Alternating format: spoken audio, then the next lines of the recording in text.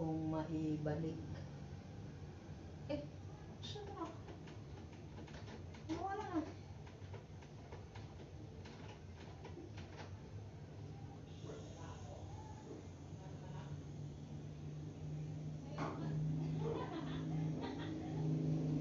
Doon? Oh.